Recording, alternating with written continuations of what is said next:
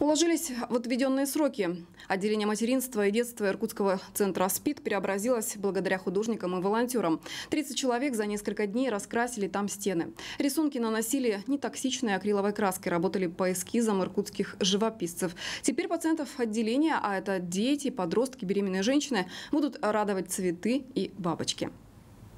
А вот радоваться многим жителям Шелихова пока не приходится. Более 100 семей стали заложниками ситуации, когда им выдали земельные участки на территории, куда выходит ливневая канализация. Как живут люди в зоне подтопления и чем им собираются помочь, узнал Олег Федоров. Дом шелиховчанина Владимира Сухорукова словно старая крепость, окружен рвом с водой. Участок приобрели при помощи сертификата по программе переселения. Только после покупки стало ясно, что земля в зоне подтопления. Рядом находятся выходы всех ливневых канализаций города Металлургов. Лично я завез 8 25-тонников в огород. Вот дорогу отсыпал, но возле дома еще три машины больших засыпал. Когда меня возил один землю, он мне так сказал. О, говорит парень, я 20 лет тут назад уток гонял. Тут, говорит, болото, страшное дело.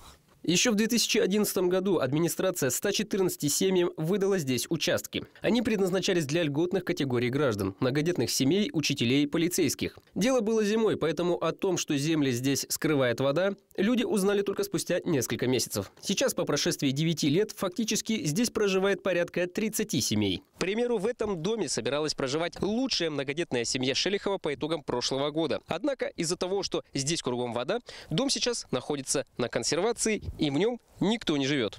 Юрий Малько пытается решить проблему уже несколько лет. По его словам, возможный вариант – замена участков. Для этого сначала администрации придется выкупать землю. Средства потребуются огромные. Ведь, например, 25 наделов уже поставлены на кадастровый учет. Там стоят дома и остальные постройки. Средняя стоимость э, ну, по, самым даже дорогим подсчетам это где-то 250 миллионов, да, чтобы выкупить участки. Мне пришел прекрасный, шикарный ответ. Здесь э, в одном письме собрано ответы трех министерств. Причем первый ответ одного министерства говорит о том, что у нас будет продолжаться работа по благоустройству, нам будут строить дороги, и идет планирование. А второй ответ говорит о том, что это все нецелесообразно и нужно выкупить эти земельные участки. Официальную точку зрения администрация города обещала озвучить на этой неделе. Известно лишь, что на ближайшие годы запланирована только разработка градостроительной документации. В общем, сначала приведут в порядок бумаги, а уже потом будут браться за работу. В настоящее время прокуратуры города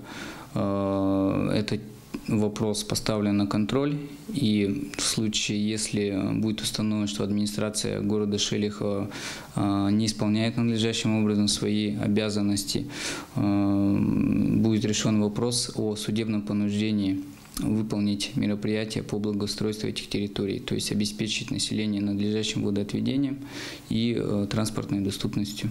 В ожидании грядущих изменений местным жителям остается самостоятельно отсыпать свои участки, чтобы как-то пережить последствия осадков, которые регулярно подступают к их домам. Олег Федоров, Владимир Пинаев. Новости по будням.